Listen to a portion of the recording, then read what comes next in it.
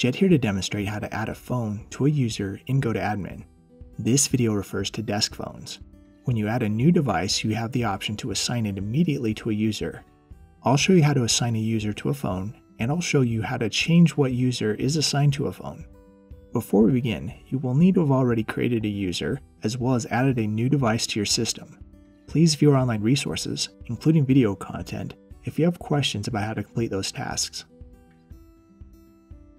If a user wants to use a desk phone, they must have a GoToConnect license.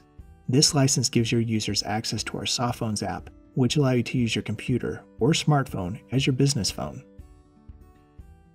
You'll need to be an admin or super admin to complete this task. GoToAdmin can be accessed to this site. I've already logged in as the user Sarah Johnson, and this is the homepage. The task of adding a phone for a user can be accomplished either from clicking the people icon or the devices icon. I'll show you how both work in this video. Let's start by clicking the device icon. You can now see all the devices on your system. Take note of the Assign To column. From there you can instantly see if a device has a user assigned to it. Let's select a device that does not currently have a user. This is the device profile. Click the Edit button in the Detail panel. Now I can click the Assign To drop-down list, search for the desired user, and select their name. While here, you can also change the name of the device if you want it to match the name of your user. Be sure to click Save when you're done. You've successfully assigned a user to that phone.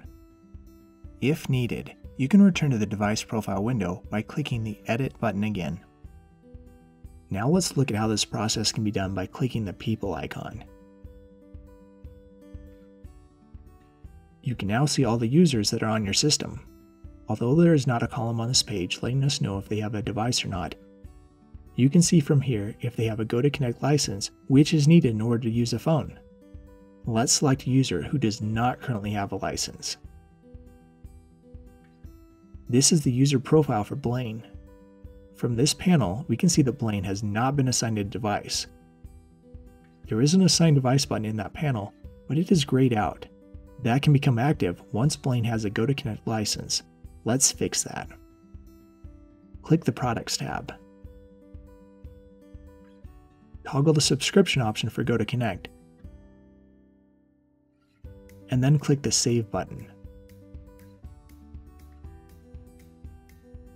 Click the Overview tab.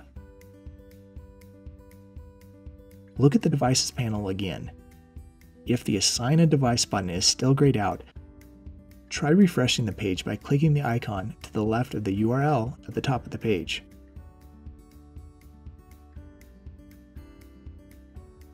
Now, you can click the Assign Device button. From the drop-down list, search for and select the phone you wish to assign to your user. Be sure to click the Assign button once you're done.